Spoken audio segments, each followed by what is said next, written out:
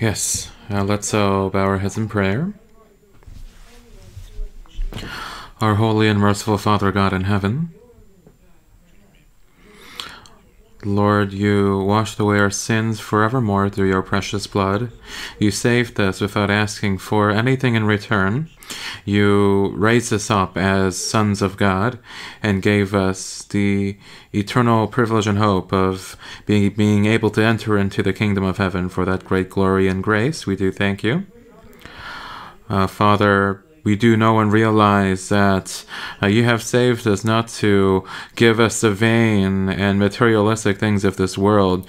We know that you seek to give us eternal and everlasting glory in heaven. Uh, while we are still remaining upon this world, I ask, uh, uh, we we uh, we we do know and realize uh, that we you want us to live in accordance to your gospel and service of you. Uh, Father God, we who have been redeemed through your precious blood have gathered together to sing praises of your grace, to learn about your word, and to share fellowship likewise with you. Father, we do know and recognize that you are with us. Lord, please watch over each and every one of us uh, so that we will continually fill ourselves with the grace and love you can provide. Please help us so that uh, we'll be able to live uprightly as your children uh, for the remainder of our lives. Please sanctify us with your words of truth. Lord, those brothers and sisters who could not be here today, and those brethren who are listening online as well. Lord, I ask that your Holy Spirit will be upon all of us, that we will be able to take upon uh, the grace that you have granted us for all of our churches here and abroad over the entire world. We know that there are many brothers and sisters who, in the midst of great hardship, are preaching the gospel and they're being led and guided, of course, by your Holy Spirit. Lord, please help us so that no one uh, will escape the palm of your almighty hand and your infinite protection. Lord, for those of us who are sick, I ask that you will heal us so that we will be able to live the remainder of our days uh, for you and your purposes. And Lord, for those of us who are, for those of us who have uh, under, are under trials and tribulations, I ask that you be with us and protect us. Lord, please instruct us as to where we ought to go and what we ought to do. Uh, Lord, I ask that uh, for this time and this sermon, you will instruct us with your holy will and an understanding of uh, where your will resides. Please give us the wisdom to be able to understand your words and likewise give us the strength and courage to be able to live the rest of our lives for your gospel.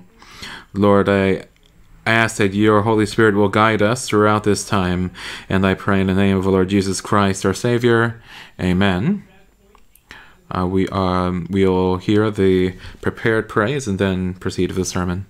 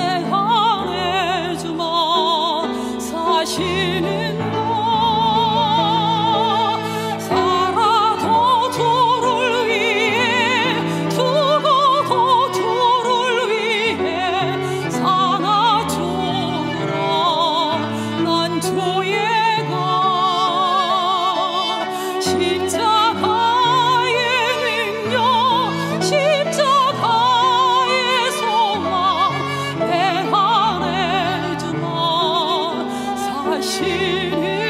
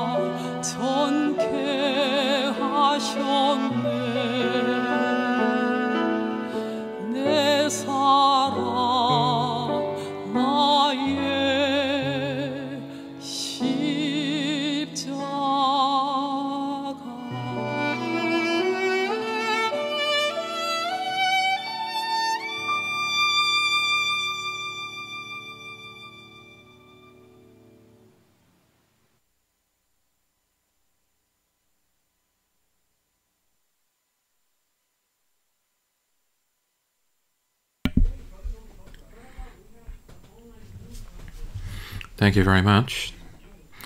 Let's open up our Bibles. Let's open up our Bibles to John chapter 14.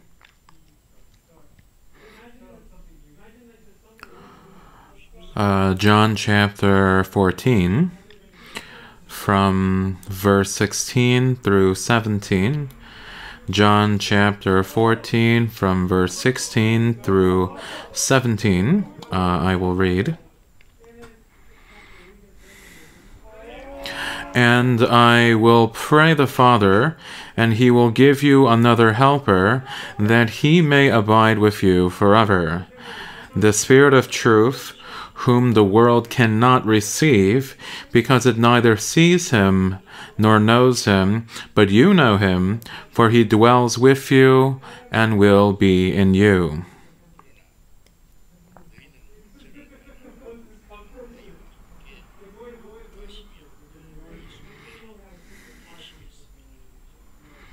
Yes, up till there. uh, due to the ongoing coronavirus pandemic, um, there has been great uh, continuing turmoil around this world, and many, of course, have lost their lives, and many more are indeed sick um, and in a great deal of pain and suffering. Uh, our country uh, in South Korea has uh, uh stabilized somewhat, or stabilized until uh, very recently, um, uh, although it has peaked recently. I do not think this will last long. I do believe that we ought to uh, be careful, continually bear caution, um, so that none of us will fall prey to this disease. I think we have to be uh, awake and alert so that we will be able to do so. Uh, we cannot um, uh, lose our guard. Uh, we have to continually wear uh, our masks, and uh, um, the masks in particular are a very potent tool against the virus. And to restrict ourselves from eating outside um, uh, because things are quite serious. Uh, we, of course, um, uh, are within the body and the multitude, which is the church. If uh, uh, if one of us falls sick, then right, uh, it, it, can cause uh, uh, great harm for uh, the entire multitude. So we ask that you'll take the proper precautions as a result. For today, through the words that we have read, um, uh, these are, of course, are the words of Jesus Christ, and they are very important words indeed. Uh, in John chapter 14, uh, 15 and 16, uh, these are words that were given by Christ uh, to his disciples uh, the night before um, his crucifixion upon the cross. And um, uh, within these words are words that are uh, like a eulogy in nature and also um, uh, uh, words that have a great deal of meaning to us as Christians. Um, we as born again Christians um, are, are, these words are likewise given to us for us as born again Christians, and that is why we ought to consider them deeply and in kind. We all know why. We have to study the scriptures. It is through the Bible we can learn more about God, we can learn more about Christ, and likewise we can learn more about the work of the Holy Spirit, which works in all of us. Um, it is how we can come to understand how we as Christians ought to live, and it is how we can come to learn how we ought to act and proceed as uh, Christians. In John chapter 7, verse 17, it says, If anyone wants to do his will, he shall know concerning the doctrine, whether it is from God or whether I speak on my own authority. Right? If uh, anyone has a heart of uh, obedience towards the Word of God, they'll be able to have an understanding of the Word of God. Yes, uh, in terms of worldly knowledge, um, we can learn worldly knowledge if we make uh, an effort. However, divine knowledge cannot be obtained merely through our minds. Uh, we must uh, have the help of the Holy Spirit. Uh, and uh, In order for us to receive the teachings of God, we must humbly beseech God uh, and live in accordance to the will of God, and with that yearning and contrite heart, seek after uh, the knowledge and the Word of God. Without such uh, a heart, uh, we will merely listen and uh, forget. Uh, those who do not have a heart of uh, obedience will um, not be able to change no matter how many things they listen to, no matter how good the, the Word of God may be. Um, if uh, it is, uh, you know, or no matter how good some certain foods may be, if that person is not in good health, that will be of no avail. Uh, the Word of God is likewise. the Word of God is given to each and every one of us. Um, and these are words that I ought to take into action in my own lives. Uh, that is how we ought to listen to the Word of God and the message of God uh, in order for us to have an understanding of the Word of God. um, amongst the many things that Christ Jesus said, uh, here he says, uh, and I will pray to the Father, and he will give you another helper that he may abide with you forever. Now, Christ Jesus here, uh, before his death upon the cross, and of course before he died, uh, he he rose in thirty days, and you know before he would ascend into heaven after a period of about forty days, um, he was speaking of a very important thing. Uh, that uh, uh, that would happen after all those things came to pass. He says, "I am praying to the Father that He will give you another Helper, and that He will abide with you forever." Now, this um, another Helper. Um, is uh, is is uh, is someone who would abide uh, by uh, uh, with, with the disciples, with all the believers of Christ, to be with the believers of Christ and to help uh, the believers of Christ. So that's what the Helper speaking of. Of course, the Helper is speaking of the Holy Spirit um, that he will give you another helper and that he may abide with you forever, it says. Uh, God is eternal, Christ is eternal, and the Holy Spirit likewise is eternal. Uh, and because of this, uh, in the Old Testament, of course, um,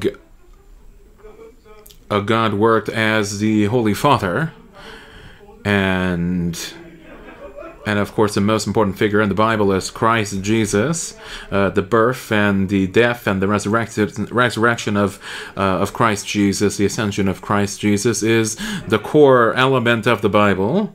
And uh, and of course, uh, the Old Testament testified how Christ Jesus has come upon this world to die and redeem the people uh, from their sins. And as promised, Christ Jesus arrived and fulfilled the prophecy of salvation that was, of course, given to him. Um, however, however, the time that was uh, the time that was um, granted for Christ upon this world was a very short 33 years. Um, uh, the uh, you know the the the, the uh, um, it, it, it, of course that that time uh, that was granted uh, for Christ was uh, exceedingly short. But the grace that was given to to us through Christ Jesus uh, has not ended. That grace has continued through the Holy Spirit itself, and it is the Holy Spirit is the being that is still with us today. Um, it says in verse 17, "This is indeed the Spirit of truth. The world cannot receive because it neither sees Him uh, nor knows Him." Um, this helper uh, this helper is he who has uh, has sent for born again Christians, and that is why uh, non believers or those who do not believe in Christ um, uh, uh, you know, the world is speaking of uh, gen- Gentiles, those who are not saved, those who are neither see Christ or know Christ, those who have nothing to do with Christ, and of course are not have not received salvation. The Holy Spirit uh, cannot receive or cannot be with these people, uh, but you know Him. It says in verse 17, "For He dwells with you and will be in you." Uh, the the Holy Spirit itself it not only helps us realize the grace and the truth of the gospel and the word of God, the Holy Spirit likewise is always with us, will always be uh, with us. Uh, you know, Christ Jesus for three and a half years uh, uh performed his ministry upon this world. Uh, and, and, as a part of his last uh, ministry, and the last years of his ministry, he walked, of course, uh, with his disciples. And yes, there were many more disciples besides the 12 that followed Christ and learned from Christ. But the 12 disciples in particular were right with, right next to Christ, and they lived and they went wherever he went. However, the Holy Spirit itself dwells inside of us. Uh, the God of the Old Testament um, spoke only to the people of Israel, and he revealed himself to the people of Israel. Christ Jesus uh, came to, upon this world uh, to save all sinners, but the Holy Spirit is different in that the Holy Spirit, uh, uh, uh, being the embodiment of the life and the grace of God, um, uh, is that which implants inside each and every one of us when we understand and receive the gospel, when we receive salvation, and the Holy Spirit provides us with our strength. So what the Holy Spirit itself does is different uh, from the other two. Um, uh, the life of a Christian, of course, then is uh, a life that must be bound uh, by the help of the Holy Spirit a life that must be bound by the teachings of the Holy Spirit, uh, um, a life that must be instructed by the Holy Spirit, and that is why, uh, uh, if a born again Christian doesn't have an understanding of the Holy Spirit, he will not be able to live a proper Christian life.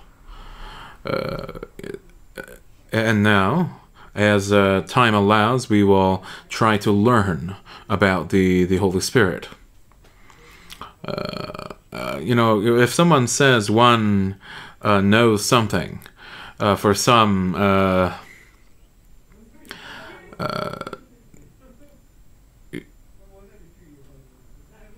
you, you know, if you say is that person dependable or trustworthy, uh, then uh, that will be predicated upon how well you know that person. If you want to entrust a good task to a person, you must really know who that person is. You cannot do so with a person that you have no knowledge of. To know a person means that you know what kind of person that person is. It also speaks of the the relationship you have with that person, uh, a parent uh, and uh, uh, you know their children.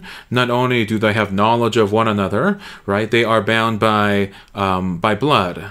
Uh, that is a um, that it, that is a true fellowship that is shared within the family.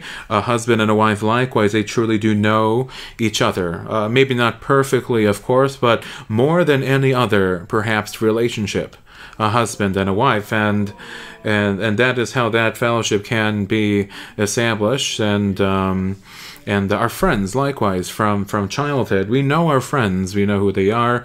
We know who they are as people. And of course uh, we ought to make good friends and not bad friends. Um, that is why it is important for us to truly know um, to know God through the Bible, to know of Christ through Scripture. In John chapter 17, verse 3, it says, and uh, uh, these are one, this is one of the prayers of Christ Jesus. He said, And this is eternal life, that they may know you, the only true God, and Jesus whom you have sent. Yes, we obtained eternal life through faith and faith alone. Uh, but faith itself is also likewise predicated upon uh, a firm knowledge, right? We must have firm knowledge to have firm belief and firm faith.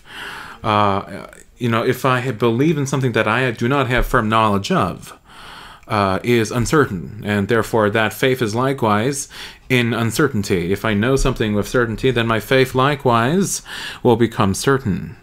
We have studied the scriptures through the Bible, and uh, we have, through the scriptures, come to understand um, who Christ is to me and uh, it is the Holy Spirit likewise that uh, works within us and dwells within, within us. That's what the Bible says. Uh, and because the Holy Spirit dwells within us, we must know about the Holy Spirit.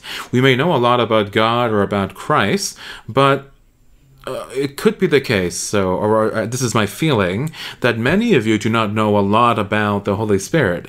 And um, uh, I do think that it is uh, beneficial for all of us to learn about the Holy Spirit. In John chapter 20, uh, verse 21 through 22, uh, this is when Christ first appeared to his disciples after his resurrection, and he showed the wounds on his uh, hands and his feet, and he said, uh, Peace be upon you. And having said this, he says, As the Father has sent me, I also send you.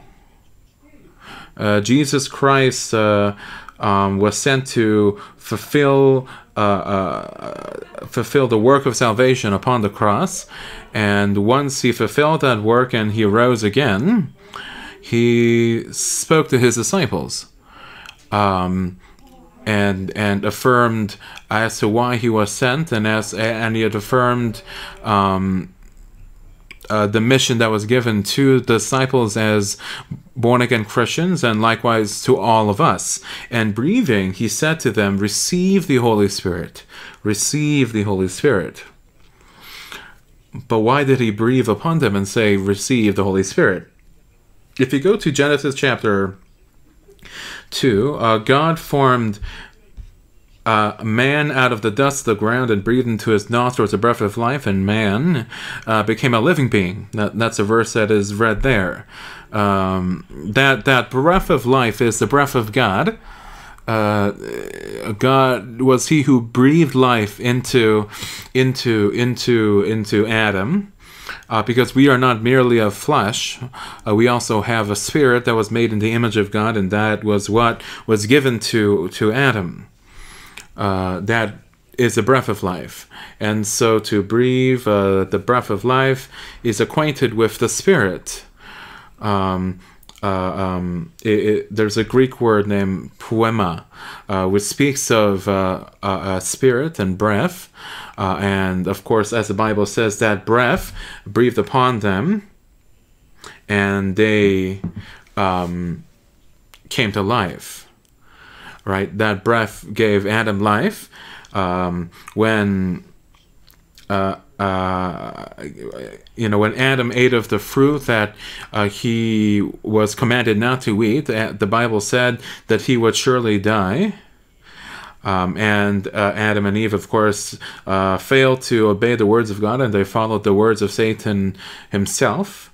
Uh, what died on that day? Adam lived uh, to a very ripe age of uh, 930, I believe. Uh, but the reason why he uh, he died on that day wasn't his flesh that died; it was his living spirit that died that day. Um, we had a sermon about the living and the dead uh, uh, um, last time um, yes, as born again Christians, or those who are not born again, may have a flesh that is alive, but their spirits are dead. That is why when God looks upon this world, it is filled with those dead that are walking. Right? Uh, when we are saved, we are made alive who were formerly dead in trespasses and sins. um, uh, Jesus, of course, uh, became a living spirit for all of us. Uh, that is why in 1 Corinthians 15, verse 45, it says, And so it is written, the first man, Adam, became a living being, the last Adam became a life giving spirit. um, in order to be a life giving spirit, he had to pay, Christ had to pay the price uh, for sin uh, because the wages of sin was death. Um, uh, as it says in John chapter 5 verse 21, so as the Father raises the dead and gives life to them, even so the Son gives life to whom he wills. Uh, Christ was he who came uh, into this world, this world which was filled with those that were dead to trespasses and sins. He came here to pay the price of sin, which is death, for all the world that they, all the world might have, might be able to be redeemed um, all the sin that uh, came into this world, starting from Adam, uh, Christ Jesus took upon, and he paid the ultimate price for the sins of the entire world, once and for all, having obtained eternal redemption. Through the death of Jesus Christ upon the cross, he bore all the sins upon the cross, and he died upon the cross, and he rose on the third day, having broke the bonds of death, of Hades itself, and gave us a, a living testament, an eternal testament of salvation. Uh, it is through the death and the resurrection of Christ, uh, Christ uh, became a living spirit to us. That is why he was able to breathe upon them. What that really means is this yes, the resurrected Christ was able to breathe a living spirit upon them, right? Receive the Holy Spirit. However, the, whole, the disciples did not received the Holy Spirit at that moment. It was only after uh, the 40 days after, uh, it was only after the ascension of Jesus Christ uh, on the Pentecost when they did receive the actual Holy Spirit. But when he said, uh, receive the Holy Spirit, he was testifying to them what would come.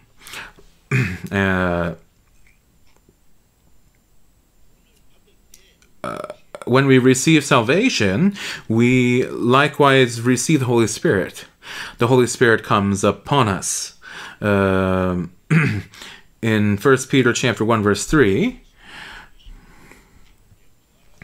Uh, it says, Jesus Christ, who according to his abundant mercy has begotten us again to a living hope uh, through the resurrection of Jesus Christ from the dead.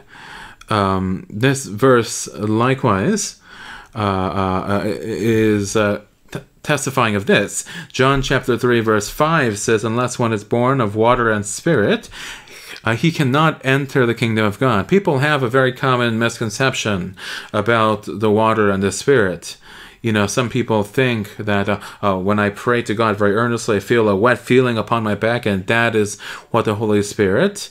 And some people likewise say that baptism is the water, and it is only through baptism I can receive the Holy Spirit. That may seem to be right, but that is not right as well. Uh, the water and the Spirit, well, what the water testifies of is the righteousness of God. Uh, God uh, judged the world through water in the time of Noah's flood, uh, during the time of Noah.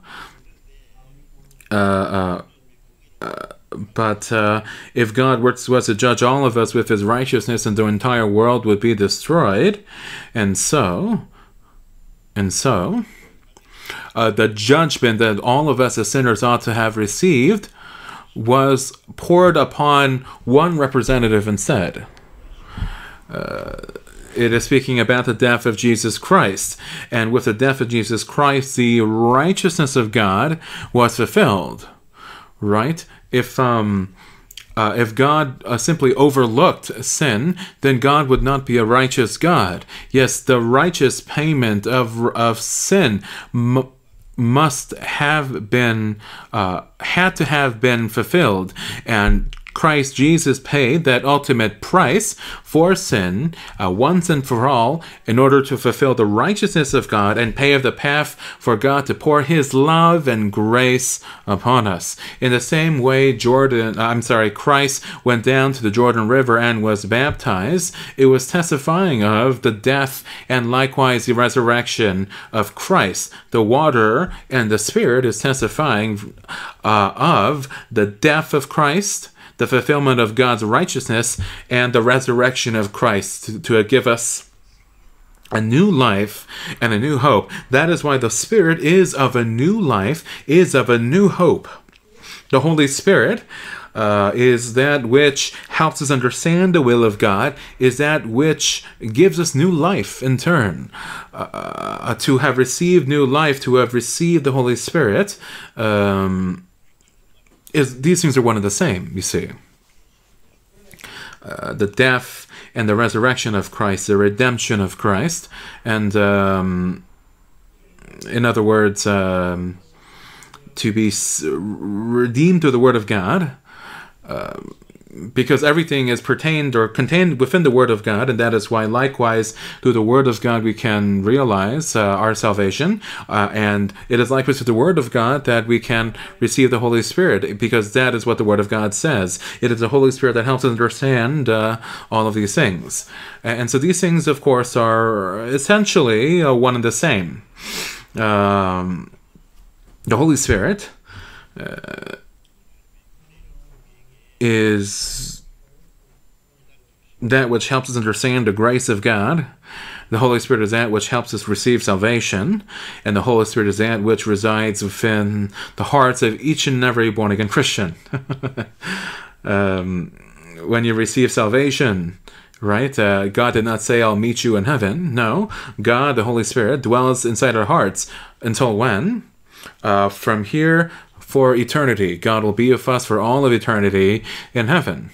Uh, and that is why it is important for us as Christians to have an understanding of the Holy Spirit. Because when we have an understanding of the Holy Spirit, we can have a true fellowship and we can uh, be led uh, into His guidance and His help. Uh, so then, what exactly is the Holy Spirit then? Uh, the Holy Spirit, the Holy Spirit as a part of the Holy Trinity, God, the Son, and the Holy Spirit. Um, uh, uh, the Father, the Son, and the Holy Spirit are three and yet one. um, amongst what we believe.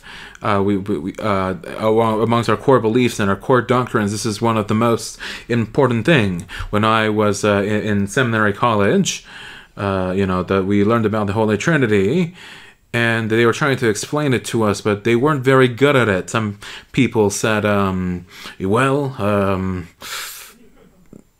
uh, it's the same energy, but you know sometimes energy like electricity can be fueled in light. Electricity electricity can be revealed in heat. Electricity can fuel power you know uh, um, uh, and that's how they explained it um, or they say the water flows but the water rises the water freezes and it can become a lump of ice and uh, you know or or you can and you can hit someone with it and strike it or it becomes snow it becomes vapor um, or but it is water uh, it, it explained it in a lot of different ways but they weren't very good ways uh, some people uh, said uh, um, um, they say well he can be a husband uh, the same person can be a husband but he can also be, and he is also a father, and when he, when he goes to church, he can be a pastor.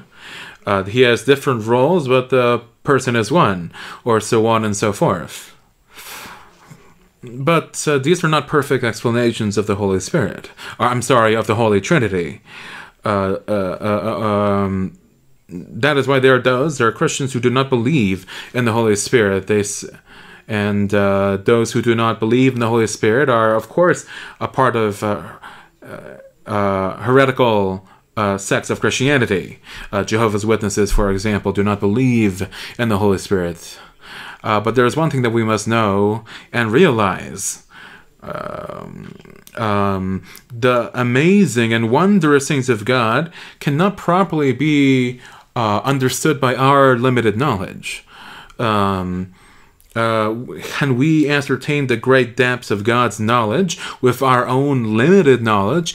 Uh, there are things that cannot be understood, and yet we must believe those things likewise because the words of God are truth um, uh, the whole, the God, the uh, God, the Father, Christ, the Son, and the Holy Spirit are three separate beings, but they are likewise one complete being. Uh, in Genesis chapter one, verse twenty-six, uh, when God, uh, in the midst of creation, uh, said, "Lastly, let us make man in our image." Yes, who is us here? Uh, there is one singular God, but us is not singular but plural, right? Uh, were there multiple gods? No, there was. There is always one God. But why is is is it that God is saying here, "Let us make man in our image"? Yes, uh, the Father God, uh, Christ the Son, and the, and the Holy Spirit speak of three and one. And um, in Genesis chapter 11, uh, when the people were trying to make uh, and erect a Tower of Babel, uh, God says, Come, let us go down and there confuse their language that they may not understand one another. Uh, one another's speech. It says, "Let us go down there and confuse their language." Is a little strange, but that likewise speaks of the Holy uh, Trinity. Likewise, And likewise, if you go to John chapter 3, verse 11, it says, We speak what we know and testify what we have seen, and you do not receive our witness. Christ Jesus likewise is speaking of we. He was not speaking of him and the disciples, he was speaking of the Father God, Christ the Son, and the Holy Spirit. We speak of what we know and testify of what we have seen. Um, Yes, because Christ is equal to God. He knows all that God likewise does. And when he says, uh, There is no one who has uh, ascended into heaven as, uh, as I have, he is saying, There is no one who can entertain uh, the things of God as I can. And when he, that is why he is speaking of what we know and testify of what we have seen. This is also likewise speaking of the Holy Spirit. And um, in Matthew chapter 3, verse 16, um, when Jesus was being uh, baptized in the Jordan River, yes, there is an image in which the Father God, uh, Christ the Son, and the Spirit of God is revealed in the exact same moment. Um, uh, the, the, Christ the Son was um, was uh, was uh, being baptized in the water.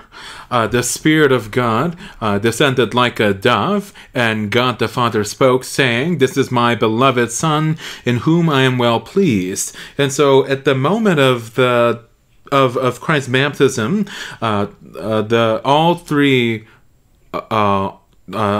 the, the entirety of the Holy Trinity was revealed at the same time uh, in uh, Mark chapter 16, likewise, uh, Jesus Christ tells his disciples, Go into the world and preach the gospel to every creature and baptize them in the name of the Father and of the Son and of the Holy Spirit. He says, Baptize them in the name of the Father, the Son, and the Holy Spirit, the Holy Trinity. They are equal beings, and yet they are one and the same.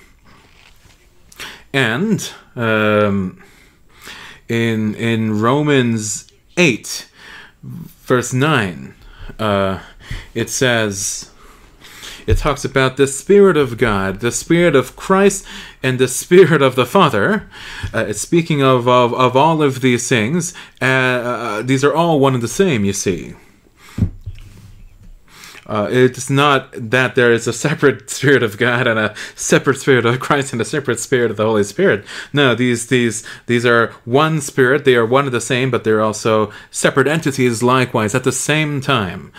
Uh, the, uh, um, and uh, we have to understand uh, that uh, uh, about the nature of the Holy uh, uh, of the Holy Spirit. So some people think of the Holy Spirit as some sort of flying flying power. And they try to grasp a hold of the Holy Spirit and use it for themselves. This is, of course, likewise is wrong. The Holy Spirit, not only is he a part of the Holy Trinity, um, the Holy Spirit has uh, well, uh, willpower.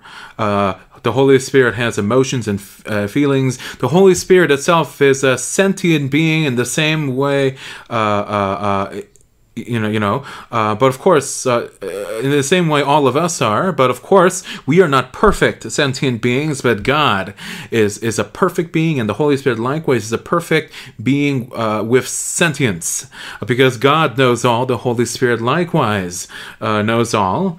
In First Corinthians chapter two, verse ten, it says, "But God has revealed them to us through the Spirit, for the Spirit searches all things, yes, the deep things of God." In Ephesians chapter 4, verse 30, it says, uh, And do not grieve the Holy Spirit of God, by whom you were raised, or I'm sorry, whom you are sealed for the day of redemption.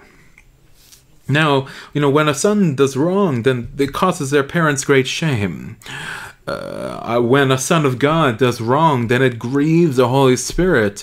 And when the Holy Spirit grieves, it means that God is likewise grieving. It grieves the Holy Spirit.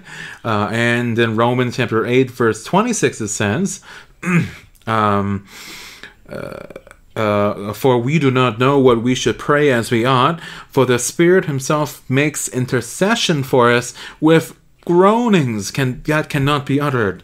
It says groanings here. You know, you know when you're right, you know when your child is being very immature, then there is the groaning of a mother and a father wondering when their child will mature.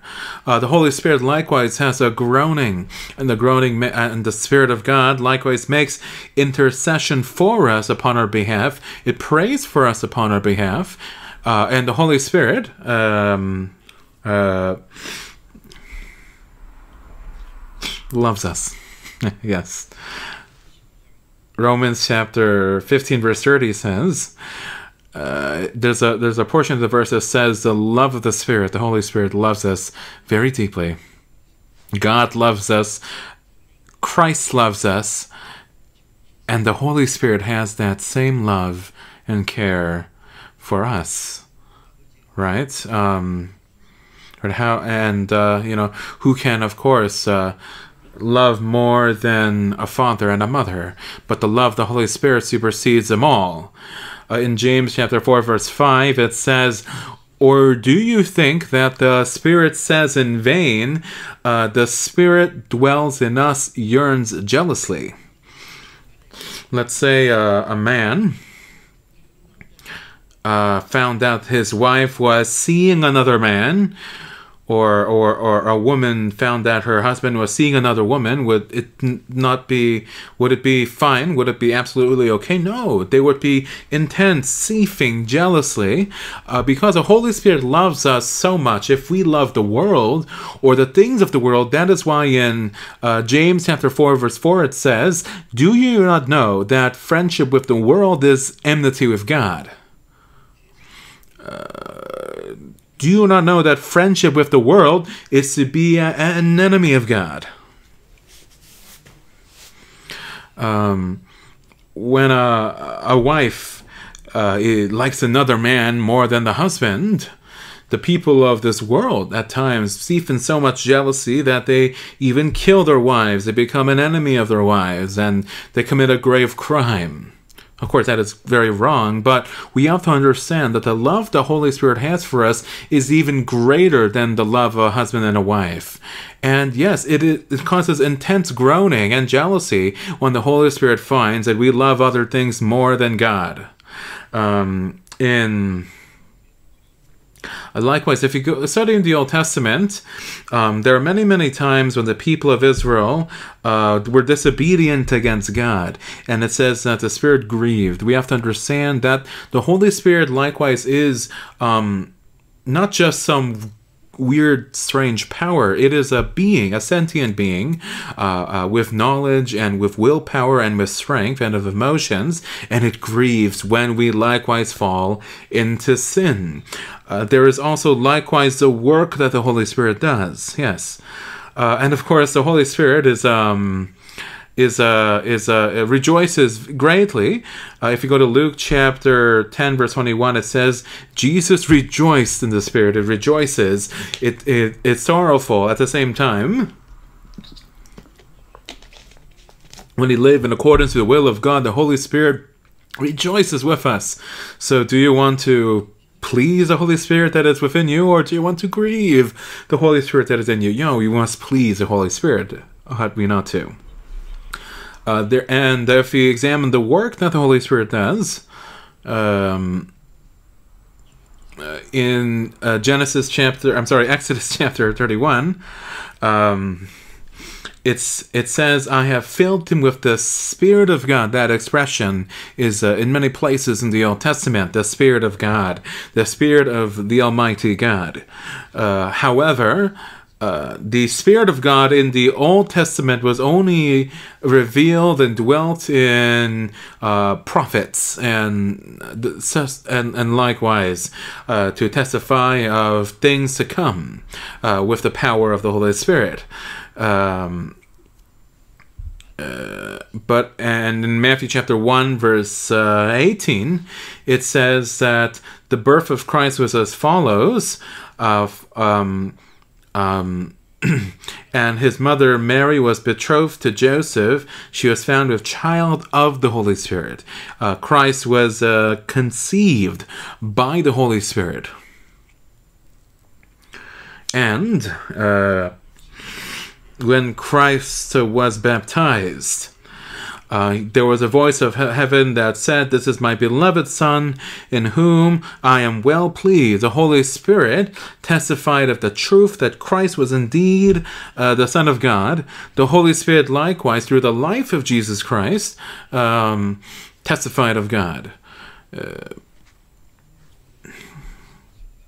testified of the Word of God, testified of the works of God, testified of the the, the Word of God at the Gospel of God. If we go to uh, Acts chapter 1, verse uh, uh, uh, Acts chapter 10, verse 38, it says, God anointed Jesus Christ, Jesus of Nazareth, with the Holy Spirit and with power, who went about doing good and healing all who are oppressed by the devil, for God was with him. Yes, when Christ Jesus was doing his works and his and, and showcasing his the power that he had, he was likewise doing so through the Holy Spirit uh, and all the great works that he did, the miraculous things that he did in terms of healing uh, the sick and feeding the poor, was done so with the power of the Holy Spirit. In he- Hebrews chapter 9 verse 14 it says, How much more shall the blood of Christ, who through the eternal Spirit offered himself without spot to God, uh, cleanse your conscience from dead works to serve the living God? Yes, um, you know, Christ Jesus, right, was offered to the eternal spirit to cleanse our conscience from dead works. What this means is this. The Holy Spirit died upon the cross to cleanse us from sins. Uh, he completed this work, all of that work, through the Holy Spirit. And with the Holy Spirit, our work of salvation was accomplished by Christ through the Holy Spirit. Um, the, the promises of God bestowed upon the people of Israel uh, in the Old Testament. In accordance to those promises, uh, Christ Jesus came. And Christ Jesus accomplished the work of salvation, and the Holy Spirit, uh, the Holy Spirit, uh, uh, uh, through born again Christians from Judea to Samaria to the ends of the wor- ends of the earth has testified of that gospel truth uh, to the entire world. And that is why when Christ, before Christ ascended into heaven, he said, uh, um, you shall receive power when the Holy Spirit has come upon you, and you shall be witnesses to me in Jerusalem, in all Judea and Samaria, and to the end of the earth the Holy Spirit testified of the work of the Holy Spirit, and that is why in John 15 it says, um, But when the Helper comes, whom I shall send to you from the Father, the Spirit of truth, the Spirit of truth who proceeds from the Father, he will testify of me, and you also will bear witness, because you have been with me from the beginning. Yes, uh, the Holy Spirit was that which came to testify of the work of God, the work of Christ to us. The Holy Spirit is not some power, some strange power that dwells upon high. The Holy Spirit dwells in each and every born again Christian and compels us to preach the gospel. It is through the power of the Holy Spirit we shall be witnesses to God in Judea and Samaria. That is what the Holy Spirit does. Um, that is why when Christ died and resurrected and ascended into heaven, uh, after he did so, 10 days after, uh, the Holy Spirit descended upon the disciples uh, in the Pentecost. And and uh, from that point onward to now, we call the age of the Holy Spirit, and likewise the age of grace, and likewise the age of the church. The Old Testament, um, God worked mainly through the people of Israel, and now, after the Holy Spirit has come, the Holy Spirit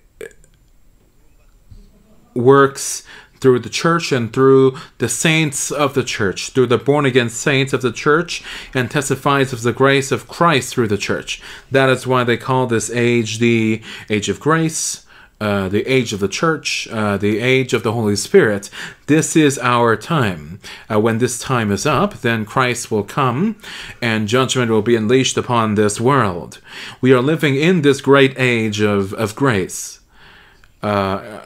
And that is why there is need for us to realize and understand what exactly it is that the Holy Spirit does. And there is need for us likewise to live our Christian lives. Our Christian lives, we must understand, is being lived with the Holy Spirit. If you don't understand this, uh, you won't be able to live your Christian life correctly. Um, the Holy Spirit uh, uh, came into this world, and first and foremost, what did he do? Let's go to John chapter 16. John chapter 16, verse 8, from verse 8. John chapter 16, from verse 8.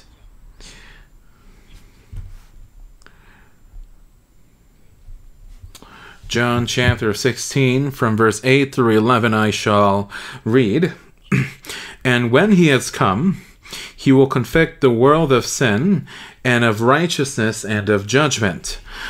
Of sin, because they do not believe in me. Of righteousness, because I go to my Father, and you see me no more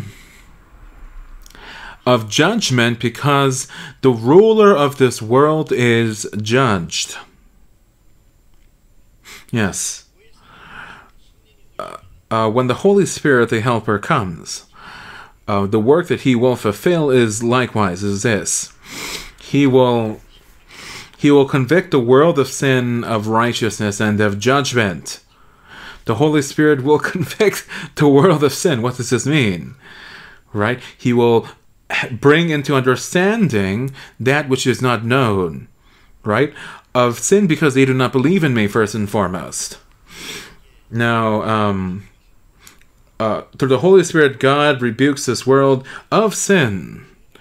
And when the Holy Spirit itself reveals sin, it is, it is not merely speaking of uh, the sins of breaking the laws of God it is speaking of the sin of not knowing God and not believing in Christ. And that is the sin that this is mainly uh, speaking of, because the greatest sin of all is not sort of uh, sin that that has broken the uh, the covenant of God or the laws of God. It is a sin of not believing in Christ, not believing in the gospel, and that He will convict the world of.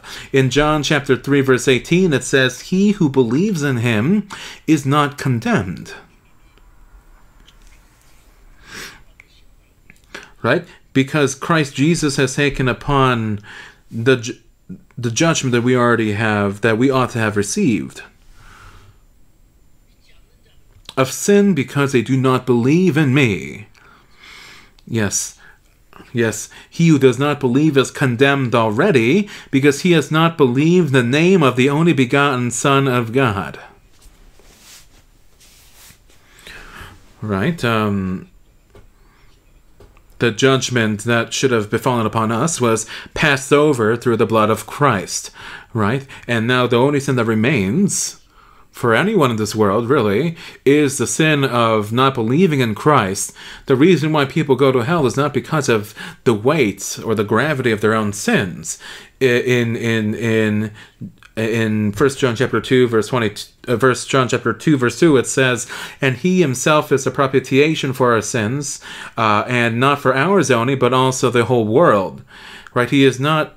Uh, he died for the sins of the entire world already.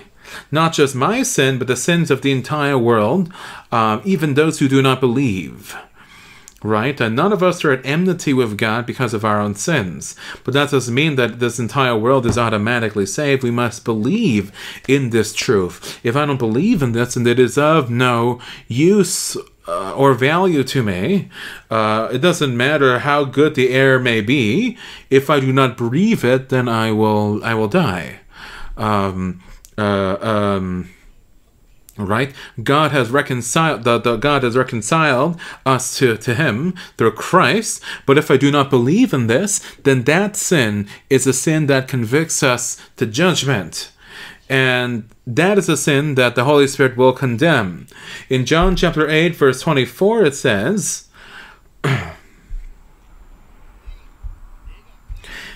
in John chapter 8, verse 24, it says, And if you do not believe that I am He, you will die in your sins. Right? If you do not believe that for that I am He, you will die within your sins.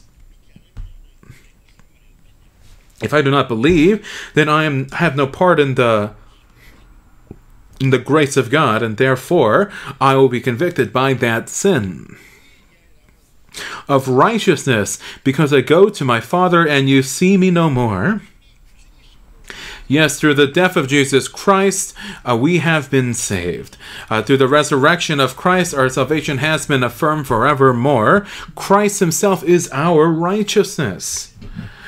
When we have belief in that same grace, that saving truth, then we have life and we have become righteous before God. But if I do not believe in this, then it is uh, of no use to me.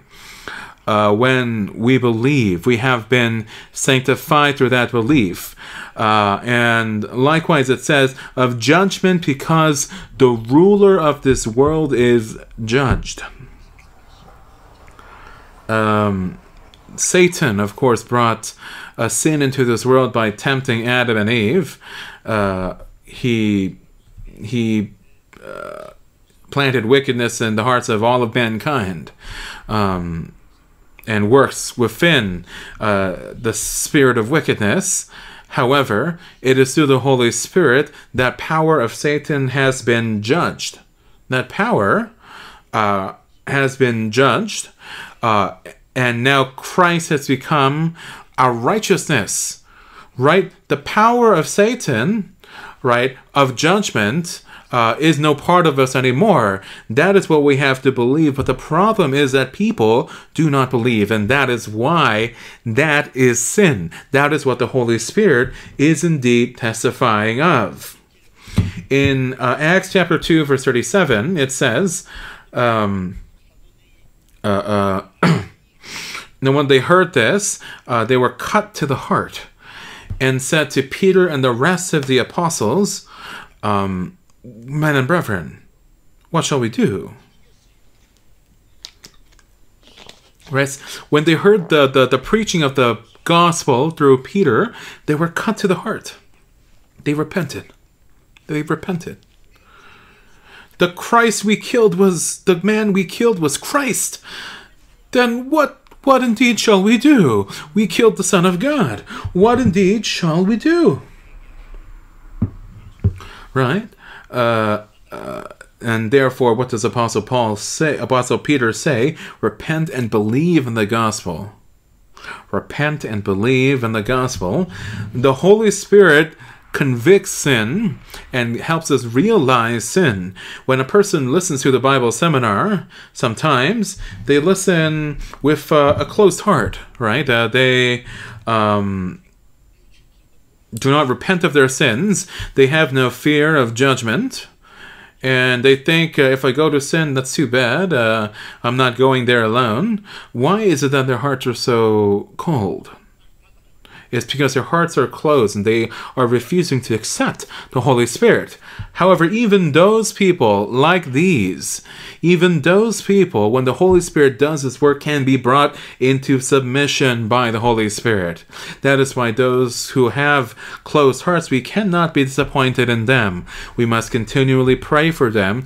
We must continually ask God for their forgiveness because it is the Holy Spirit that can really wake someone's heart and help them uh, receive salvation. Uh, uh, those who were struck to the heart. And that day, when Peter was preaching, uh, there were 3,000 on that day who were saved. In Titus chapter 3, verse 5, it says, not by works of righteousness which we have done, but according to his mercy he saved us uh, through the washing of regeneration and renewing of the Holy Spirit. When we are, ourselves were saved, we were not saved through our righteous deeds, we were saved through the washing of regeneration and the renewing of the Holy Spirit. We are saved through the mercy, the mercy, but the mercy by which, uh, the mercy of Christ, the mercy of God. Uh, it is the blood of Christ who has sanctified us, and it's the Holy Spirit that renews us. Yes, it is the washing of regeneration of Christ and the renewing of the Holy Spirit. All of this is the work of the Holy Spirit. And that is why the Holy Spirit convicts sin, helps us realize the grace of Christ, and works uh, uh, works uh, uh, uh, for the gospel of Christ inside our hearts. The Holy Spirit likewise uh, uh, uh, works in the hearts of those who listen to the word of God with a sincere desire. In 1 Corinthians chapter 2 verse 12, it says, Now we have received not the Spirit of God, but the Spirit who is from God, that we might know the things that have been given freely to us by God. Yes, when the Holy Spirit comes, right? It helps helped us under the the Spirit came. It helped us understand the grace of God. It is not because our minds uh, we have we have are so uh, uh, it is not because of our intellect that we are able to receive salvation. In in in Acts chapter sixteen, when Apostle Paul was preaching, um, uh, there was a certain woman named Lydia whose heart was opened by the Lord to heed the words spoken by Paul. Uh, Lydia, uh, who was the first woman, the first person to be saved in Philippi. Uh, when Apostle Paul was speaking, the Holy Spirit opened up Lydia's heart and helped her have an understanding, right, of the gospel. That Holy Spirit, right, is worked within all of our hearts likewise and still is working in our hearts today. In Colossians chapter 1 verse 6 it says, "And which has come to you as it has also in all the world and is bringing forth fruit." And it is also among you since the day you heard and knew the grace of God in truth. It is the Holy Spirit's role which does this from from from from this day forevermore. This is the start of our new life. Uh, in in First Peter chapter one verse twenty three, it says, "Having been born again, not of corruptible seed, but incorruptible, through the word of God, which lives and abides forever." right? It is the Word of God. There is a seed, a seed, a living seed, an incorruptible seed.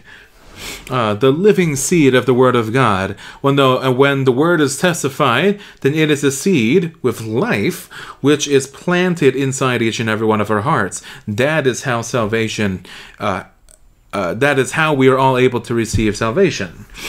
Uh, uh, uh, when that gospel was preached and when uh, the Holy Spirit opened our hearts. It is the Holy Spirit which opened our hearts to the truth of the gospel. It doesn't matter how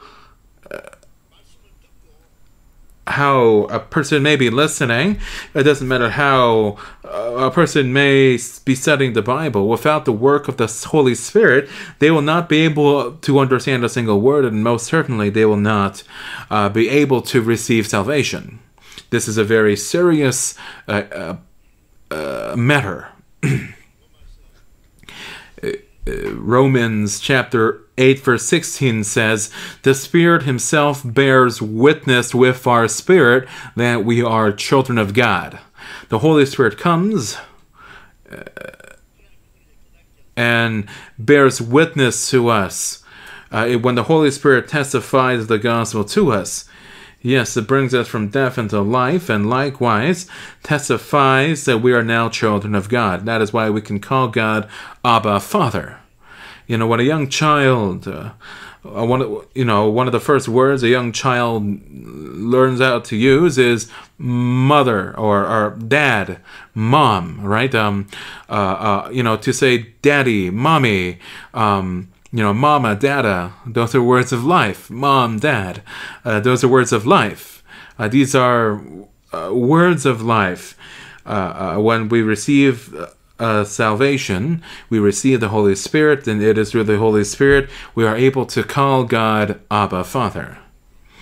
Uh, uh, in in uh, First Thessalonians chapter one verse five says, um, "Our gospel did not come to you in word only, but also in power, and in the Holy Spirit, and in much assurance." Not only in word only, but also in power, in the Holy Spirit, and in much assurance Yes, when the Holy Spirit comes, it is that assurance that I now have in order for us to believe. No, uh, you know, I went to church when I was young, since elementary school, and I went to Sunday school every Sunday, and then I went to seminary college and I learned the Bible for quite some time. And before I was saved, I, you know, was a practicing minister. I, I, I, I, I preached. I preached in the pulpit. I read the New Testament about 50 times and the Old Testament about 30 times. I would read a chapter of the Bible before I ate. Uh, you know, I thought I can't do anything else in the world. At the very least, I'm going to learn the Bible. And I diligently, diligently, diligently studied. But one day I realized uh, that I wasn't saved because I had no experience of having received uh, salvation. And, you know, I asked myself, if I die today, I'm going to go to hell. I can't even say this to anyone. And I was very, I was worrying about this, but it was in 1962, in, uh, in October 31st, in 8 p.m. that I realized the grace of God. I, I, have, I have firm belief in it. I had, I had, I had listened to uh, the Word of God in so many fashions and so many times, but it had not entered my heart. It was mere knowledge, but now, at that time, I was able to receive the words with great power, with truth, uh, uh, uh, to receive the gospel of the salvation of God. And of course, the life I lived after was completely different. Uh, um, the gospel did not come to you in word only, it said. And in Ephesians chapter 1, verse, uh, verse 13, it says, in him you also trusted, after you heard the word of truth, the gospel of your salvation, in whom also having believed, you were sealed with the Holy Spirit of promise. Yes. Yes, it says here, uh, you after you heard the word of truth, the gospel of salvation, in whom you also believe, you were sealed with the Holy Spirit of promise you know, let's say you buy a book, right? A book that you like. It's your book, so you sign the book. This is my book. It's in my possession. When you buy a house, likewise, um, uh, um, right? Uh, uh, right you you you on, on the title or or whatever it is the uh, you have to sign your name upon it um, likewise it, when we receive salvation right we are sealed with the holy spirit you are mine now. That is what the, that is what God is saying. You are now mine, and the Holy Spirit gives testimony to this. There are so many things that the Holy Spirit does. It is uh, truly a marvelous thing. The Holy Spirit gives us assurance, testifies that we are indeed of Christ. Uh, and also, um, the Holy Spirit itself um, uh, not only work, not only does all of these things, but it dwells in the heart of each and every born again Christian. Not only does it perform these things, it dwells within our hearts. In Galatians chapter 3, verse 2, it says, Did you receive the Spirit by the works of the law or by the hearing of faith? Yes, when we hear the words of God, we are able to receive the words of God through the help of the Holy Spirit. However, when I receive uh, salvation, um, um, I didn't know. I didn't know. I didn't know any of this. I didn't know what it was. But the one thing I knew with assurance was that Christ Jesus had died for all of my sins.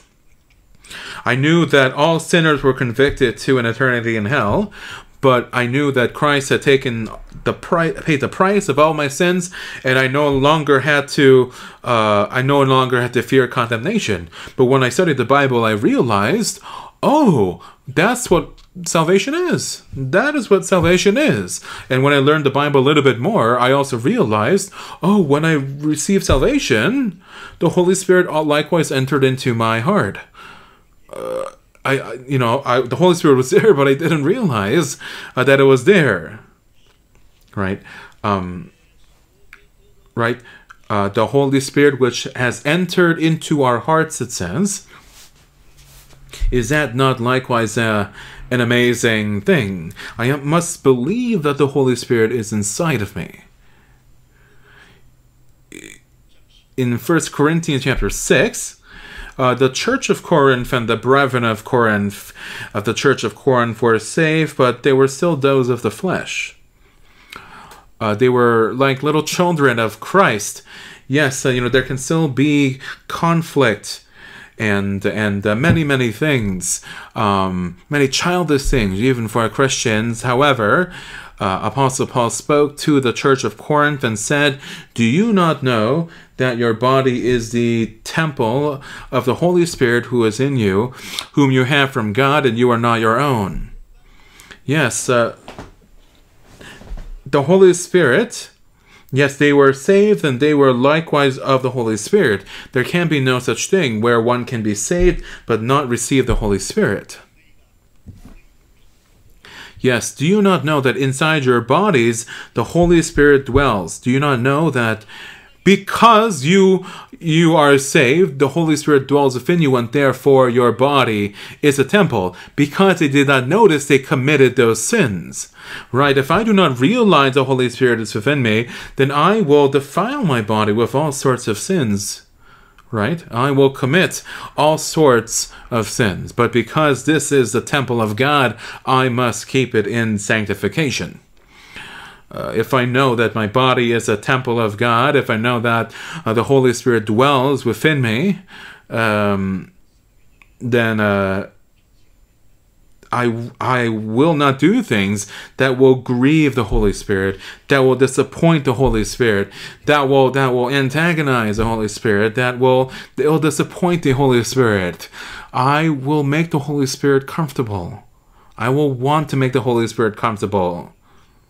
In the same way, you know, a son and a daughter, you know, ought not to grieve their parents or bring sorrow upon their parents, ought not to do any of those things.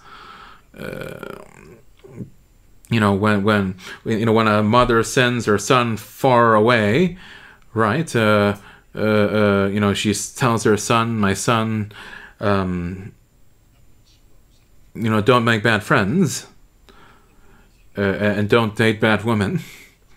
Don't go to bars, don't go to bad, sinful places. If you make bad friends and I know that you have fallen into this, I might be overwhelmed with so much despair that I will die. Then the son, the son, right, uh, uh, uh, uh when he goes to when he tries to go to bad places or meets with uh, bad friends and he will be reminded of his mother's heart and say no i will not do those things because i know that they will grieve my mother and turn away from those things.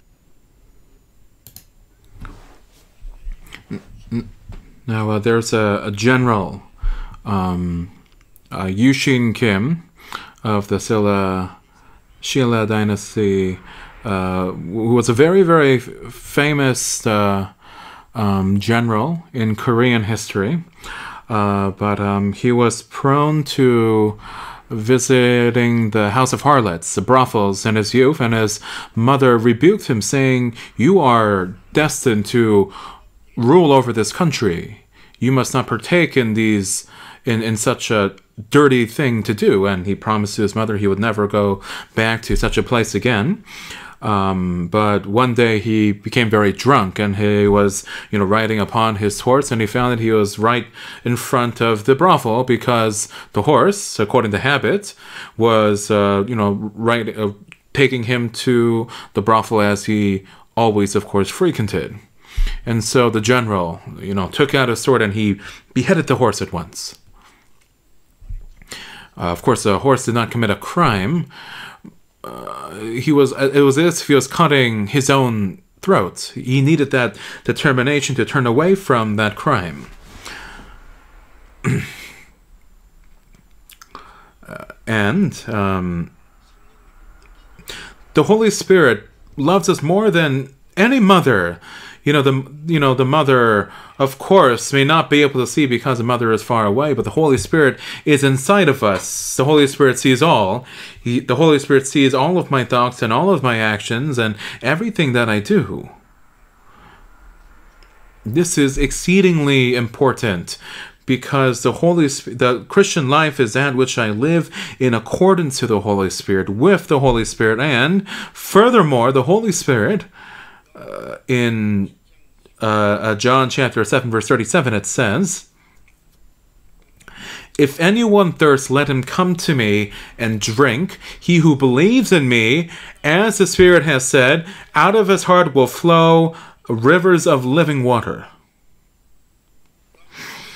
in, in, in John chapter 4, verse 14, it says, Whoever drinks of the water that I shall give him will never drink, but the water that I sh uh, shall give him uh, will become in him a fountain of water springing into life, springing up into everlasting life.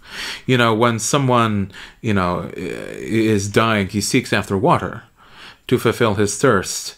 You know, within this world, uh, there is nothing that can give us true happiness, whether it be money or power or women. None of these things can grant us true happiness because we have the matter concerning our eternity. Yes, a beast may be pleased over the the, the wasteful things of this world, the, the, the fleshly parts of this world, but because we as people, as human beings, are we're fashioned in the image of God, without God we have no true joy. But the Holy Spirit, um, but the Holy Spirit when it testifies uh, that if anyone thirsts, let him come to me and drink. He who believes in me, as the scripture has said, will out of his heart will flow rivers of living water. This is really speaking about the Holy Spirit that will be a part of every single born again Christian. When the Holy Spirit comes, the Holy Spirit gives us everlasting peace and true joy and true fulfillment. Why? Because the source of our true joy is God and God alone. It is only God who can provide us with true joy and happiness. You know, what joy and happiness can we obtain in this world that is eternal? In in 1 Peter chapter 1 verse 8 it says, uh, you rejoice of joy inexpressible and full of glory. Yes, uh, though now you do not see him yet believing, you rejoice with joy inexpressible and full of glory. Yes. Um, you know, it's it, says uh, there is no one who can possibly understand the happiness that we have received. In Psalm chapter 4, verse 7, it says, You have put gladness in my heart. You have put gladness in my heart more than in the season that their grain and wine have increased. Yes this joy and peace that is within all of us. In John chapter 14, verse 27, it says, Peace I leave with you, peace I leave with you, my peace I give to you. Not as the world gives do I give to you. Let your heart let not your heart be troubled, neither let it be afraid.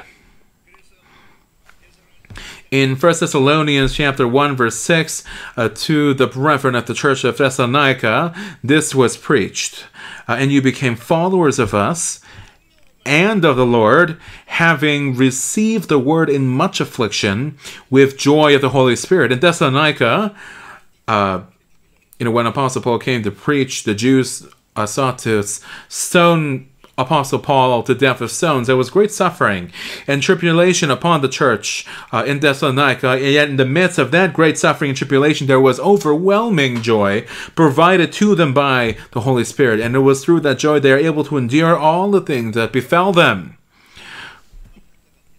And they became those that, looked upon Christ uh, and as an example Yes, no matter what sort of suffering may uh, we, we may encounter, there's a reason why we can rejoice. There's a reason why we can be joyful.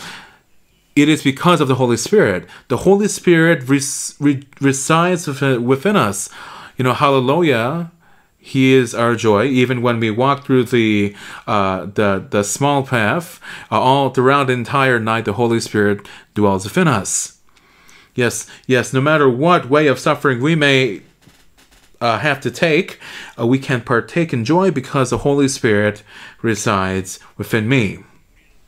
Now we are are those who will live the rest of our lives with the Holy Spirit inside of us, bound by the Holy Spirit and led by the Holy Spirit.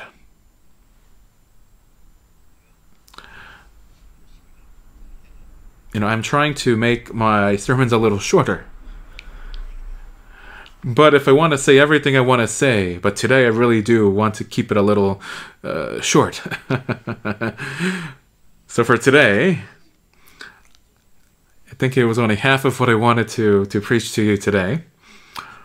But um, we're uh, I, there are so many things I do want to continue learning about uh, the Holy Spirit, and it is through the Holy Spirit we're able to realize the grace of God. It is through the Holy Spirit uh, uh, we are able to realize the grace of God. Is through the Holy Spirit we are led uh, uh, to live in accordance to the will of God. So we must live carefully within the Holy Spirit. The time of Christ is coming very, very soon, and until Christ comes, we must be uh, be be live.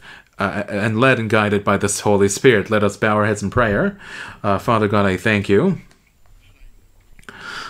Lord, we who are dead in our trespasses and sin, we who were at enmity with you, uh, uh, were shown compassion uh, uh, through your death upon the cross. And Lord, we seek to live the rest of our days uh, in accordance to the Holy Spirit that resides in each and every one of our hearts. Um, please help us so that we'll continually remind ourselves about the grace that we have received. Please uphold us in accordance with the Holy Spirit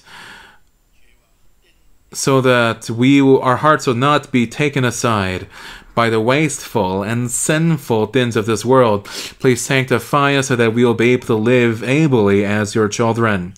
I thank you and I pray in the name of the Lord Jesus Christ, our Savior. Amen.